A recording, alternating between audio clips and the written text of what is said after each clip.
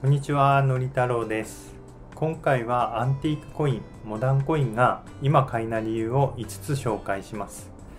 私はコイン投資を始めたばかりですが、コイン投資をいざ始めてみると、いろいろと気づいたことがありましたので、重要だと思ったことについて発信しています。この動画は、コイン投資を始めようかどうか迷っている方、また、コイン投資を周りに反対されている方などにもおすすめですが、むしろコイン投資をすでにしている方にとって一番のメリットがあると考えています。その理由は今回の5つの理由の4のところで述べますので、えーそちらを見ていただくとお分かりになるかと思います。それでは本題に入りたいと思いますが今回は、えーこの5つの項目になります。まず1つ目、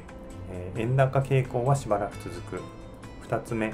金銀は今後も値上がる。3つ目ビットコインが注目されている。4つ目プレイヤーがまだ少ない。5つ目金融不安で値上がる。この5つのポイントになります。まず1つ目円高傾向はしばらく続く。こちらは日本の円高傾向というのは今円高ですが今後もしばらく続き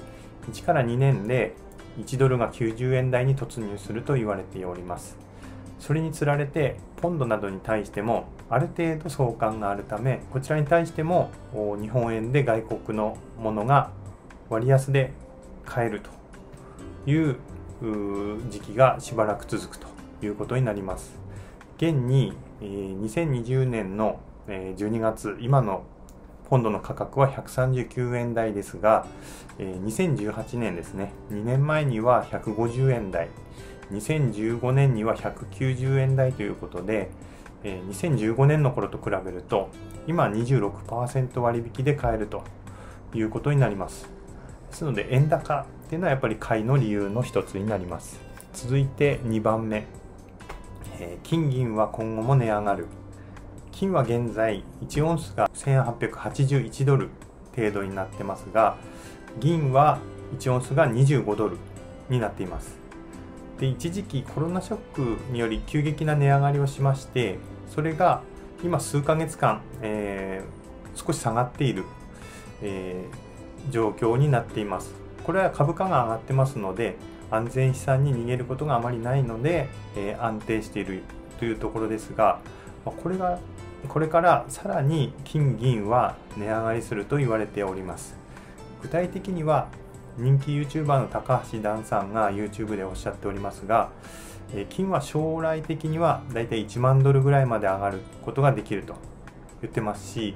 銀については長期的にはだいたい2倍には上がるということを言われています。こちら概要欄に貼っておきますがつまり今がまだ割安ということで今後どんどん高くなっていく傾向が続くということになります。続いて3つ目ですね、えービットコインが注目されているということでビットコイン今あの非常に高値になっておりますがえビットコインに注目が集まっているので逆に金が買いということになります。長期的にはビットコインが急上昇しているとですね金銀もビットコインと相関して値上がることが多いと言われてますので今現在、えー金も銀もビットコインの値上がりに対してそれほど上がっていません。ということで短期的な値上がり、えーが起こる前の今がやっぱり買い時ということになります。続いて4番目。プレイヤーがまだ少ないということでモダンコインのプレイヤーは世界に300万人程度いると言われています。しかし特に日本でのプレイヤーはまだ少ない状況で、えー数万人程度と言われています。それに対してコインの枚数というのは限りがありまして、えープレイヤーが、え増えれば増えるほどですねコインの枚数に限りがあるので、えーコインの相場が上がっていくということになります。これはコインの相場というのが主にオークションで決まるので、えーオークションでプレイヤーが多いほど値上がりしていくということになります、えー冒頭に私がコイン投資に今してる方に向けというお話をした理由がこちらで私が YouTube をした一つの理由でもありますが、えーこの動画を見た見てくださってる方も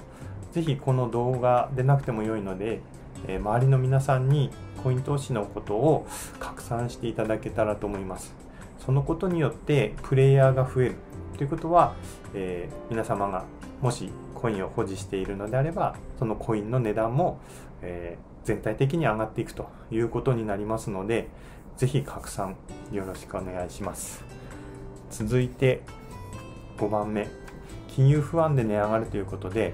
金、銀、アンティークコイン、モダンコインなどの現物資産ですね。こちらは株などの大暴落の時に大きく、えー、値上がりすることは記憶に新しいと思います。この間のコロナショックでも、えー、一時ぐんと落ちましたがあのやっぱり金は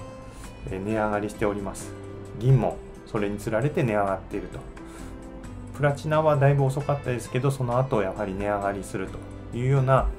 順番で値上がりが起こるのはもう歴史的に証明されています。で、えー、今すぐ金融危機が起こるということではありませんが今後今後数年のうちにですね特に日本では大きな出来事が起こるのではないかと予想されています。その中で私があ一つ有力じゃないかなと思っていることは2024年にですね、えー、新札の発行切り替えが、えー、されることが決まっておりますがその時にまあただの都市伝説みたいなもんですけど預金封鎖をするのではないかという説が、えー、上がっています。こちらは、えー、YouTube のマスオの明るい家族計画トリビアチャンネルさんで詳しく解説してますのでそちらご興味のある方はあご覧ください。こちらも概要欄に貼っておきます。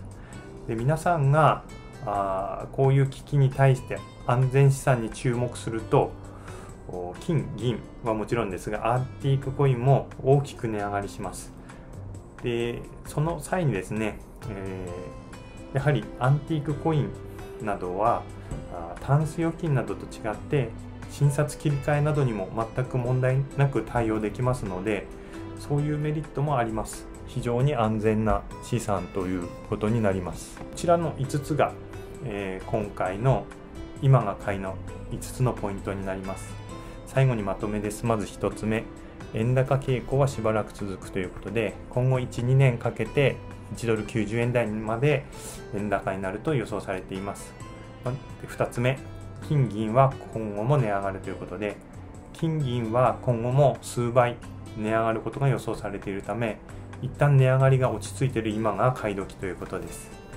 3番目ビットコインは注目されているということでビットコイン高騰の陰に隠れている金銀などは相関性も高いので値上がり前の今が買い時ということです。4番目プレイヤーはまだ少ないということでプレイヤーが増えれば増えるほど値段も上がるので、